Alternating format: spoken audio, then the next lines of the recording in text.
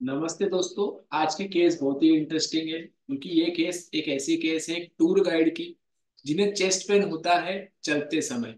तो ये जब चलते हैं तो इन्हें काफ़ी सांस फूलता है, इनका चेस्ट पेन होता है। तो ये सारा कंप्लेंट लेकर वो एलोपैथी डॉक्टर के यहाँ गए, उन्होंने एंजियोग्राफी कराई, उन्होंने बताया कि आपको ब्लॉकेजेस की तकलीफ़ है, आपके जो हार्ट के नसें हैं, वो पूरी तरीके से ब्लॉक हो चुकी है, और आपको सर्जरी करानी होगी एंजियोप्लास्टी या फिर बाईपास आपको करवाना होगा। तो ये उन्हें करवाना नहीं था सर्जरी, इन्हें नॉन सर्जिकल ट्रीटमेंट चाहिए था। तो ये माधव बाग के क्लिनिक में आए और क्लिनिक में आने के बाद में हमने देखा कि इनका वज़न बढ़ने की इनकी हिस्ट्री है। इसे वज़न इनकी बढ़ रही है, इनको दम लगने की शिकायत और चेस्ट पेन की शिकायत छह महीनों से हो रही है, जिसके कारण उनको टूर के समय लोगों को गाइड करने में दिक्कत हो रही है, जो कि इनका प्रोफेशन है और इनको इसके कारण बहुत लॉस भी हो रहा है। तो जब वो माधवबाग में आए तो उन्हें इतने सारी दवाइयाँ चालू थी निकोरैन क्लोपिटैब रैंकेट स्टॉर्बेस ये जो नॉर्मली दवाइयाँ दी जाती है एक ब्लॉकेज को पेशेंट को, ये सारी दवाइयाँ उनकी चल रही थी। बीपी भी इनको था पिछले चार सालों से। तो माधवबाग के इंदिरा नगर ब्रांच में उन्होंने विज़िट किया और डॉक्टर मंजुषा ने इस पेशेंट को एग्जामिन करके इनकी ट्रीटमेंट शुरू की। तो एग्जामिनेशन के दौरान हमने देखा कि इनका जो वज़न है वो 91 केजी है। बीएमआई 35 है। तो ये एक हाई बीएमआई के पेशेंट है, यानी कि इनका वज़न जो नॉर्मली होता है, उससे वज़न ज़्यादा है। ब्लड प्रेशर भी हायर साइड में है 150 बाय 100 दिख रहा है। हार्ट रेट जो है, वो भी 100 है, वो भी ज़्यादा है। वीओ टू मैक्स जो है, यानी कि हार्ट की जो ताकत होती है, वो ताकत सिर्फ़ 6.65 है। तो ये इतना कम ताकत होना, यानी कि ये हार्डली दो या तीन मिनट चल सकते हैं, उसके बाद इनको चेस्ट पेन या दम लगना ये होना ही होना है। तो इतनी कम इनकी ताकत हो चुकी थी। और आप टू डी के रिपोर्ट में अगर हार्ट की पंपिंग पावर चेक करें तो वो 45 परसेंट ही थी, जो कि नॉर्मल व्यक्ति में 60 परसेंट होता है हार्ट की पंपिंग पावर और ये पंपिंग पावर भी इनकी कम हो चुकी थी। माधवबाग में हमारे पास इसके लिए बहुत अच्छी ट्रीटमेंट है, जो हम पंचकर्म करते हैं, आयुर्वेदिक डाइट देते हैं, आयुर्वेदिक मेडिसिन देते हैं, और पेशेंट के कंडीशन के उस, अनुसार उसको योगा एक्सरसाइज ये सारा कुछ कराते हैं। सेम ट्रीटमेंट हमने इनको भी दी हमारे क्लिनिक में ही। और क्लिनिक में जब ये ट्रीटमेंट ले रहे थे तो आप रिज़ल्ट देख सकते हो 91 केजी का जो वेट था, वो 80.3 पर आ गया, यानी कि नियर अबाउट 11 केजी का वेट लॉस हुआ। 35 का बीएमआई 27 पर आ गया। Slowly slowly nearby normal range में वो आ रहे हैं। 150 और 100 जो बीपी रहा करता था, वो बीपी अब 118 और 76 पर आ चुका है।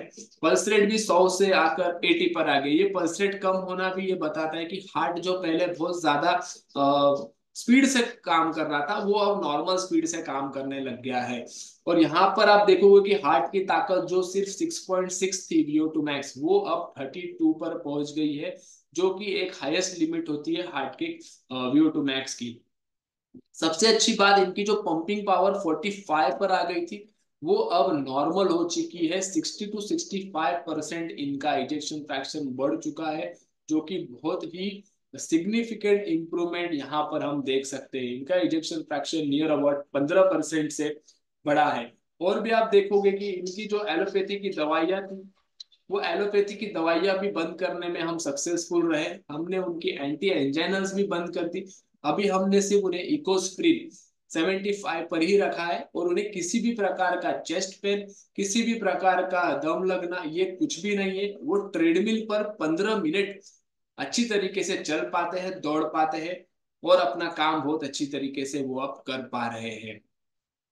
कोलेस्ट्रॉल की लेवल्स आप देखोगे तो कोलेस्ट्रॉल में ट्राइग्लिसराइड जो था वो काफ़ी बड़ा हुआ था 745 था उनका ट्राइग्लिसराइड और वो ट्रीटमेंट के बाद 120 पर आ गया। कोलेस्ट्रॉल लेवल्स भी कम हुए हैं एलडीएल लेवल भी कम हुआ है उनका और एचडीएल लेवल भी ने मेंटेन रहा है, इनका इम्प्रूवमेंट के बाद भी। ये उनके रिपोर्ट से लिपिड प्रोफ़ाइल के, जिसमें हम देख रहे हैं कि वो चीज़ें कम हुई हैं।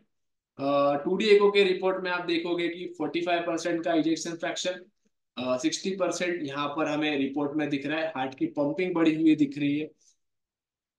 यहाँ पर जब हमने इनकी सीटी एंजियोग्राफी कराई तो ब्लॉकेजेस भी देख लेते, कम हुए या नहीं हुए। तो यहाँ पर आप देखोगे कि ब्लॉकेजेस भी हमें कम होते हुए उनके यहाँ पर दिखे हैं। हमने इनका सिटी एनजियो का वोलोमेट्रिक एनालिसिस कराया था। उसमें हमने देखा कि इनके जो ब्लॉक्स है, वो 144 पॉइंट से यहाँ पर कम होते हुए हमें दिखे हैं। पूरे टोटल एथोरमा वॉल्यूम जो है 144 क्यूब से कम हुआ है। ये टेस्ट में परसेंटेज भी देखी जाती है और परसेंटेज के साथ साथ ब्लॉकेज का जो वॉल्यूम होता है, उसका भी कैलकुलेशन होता है कंप्यूटर से और उसमें हमें एग्जैक्टली exactly पता चल जाता है कितना एम एम क्यूब ब्लॉक जो है, वो कम हो रहा है। तो ये भी एक एक्यूरेट टेस्ट है, इसे कहते हैं coronary CT angio volumetric analysis तो ये टेस्ट भी आप करवा सकते हो चेक करने के लिए कि आपके ब्लॉकेजेस में क्या प्रॉब्लम है। तो ये सारा कुछ अचीवमेंट होने के बाद में इन्हें अपने प्रोफेशन में बहुत फ़ायदा हुआ इनका। जैसे कि मैंने बताया था, टूर गाइड थे ये। तो अभी वो अच्छी तरीके से भागा दौड़ी कर पा रहे हैं, लोगों को गाइड कर पा रहे हैं, चलना ज़्यादा पड़ता है इनको इनके काम में तो वो अच्छी तरीके से कर पा रहे हैं। अभी इनको पूरा वर्ल्ड का टूर करना है तो वो टूर भी है आसानी से आप कर पाएँगे और ये पूरी तरीके से कॉन्फिडेंट हो गए हैं इसको करने के लिए। तो ये जो इम्प्रूवमेंट है, इसका क्रेडिट डॉक्टर मंजूषा को देना पड़ेगा। इन्होंने इनको ट्रीट किया था। तो अगर आपको भी हार्ट के प्रॉब्लम है चलने में दम लगता है या फिर सीने में दर्द होता है या फिर ब्लॉकेजेस है या फिर डॉक्टर ने आपको एंजियोप्लास्टी या बाईपास सर्जरी कही है तो आप माधवबाग में आकर ट्रीटमेंट ले सकते हो। माधोबाग के सारे ब्रांचेस में हम इसकी ट्रीटमेंट करते हैं। Thank you